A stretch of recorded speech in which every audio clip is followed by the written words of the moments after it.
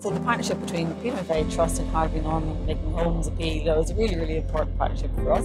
There are about 180 people who are currently rough sleeping in Ireland, primarily in Dublin. Peter McVerry Trust currently have over 220 people in homes of their own, provided to everyone who's in a house of with Peter McVerry Trust we can support that person to, to move into independent living.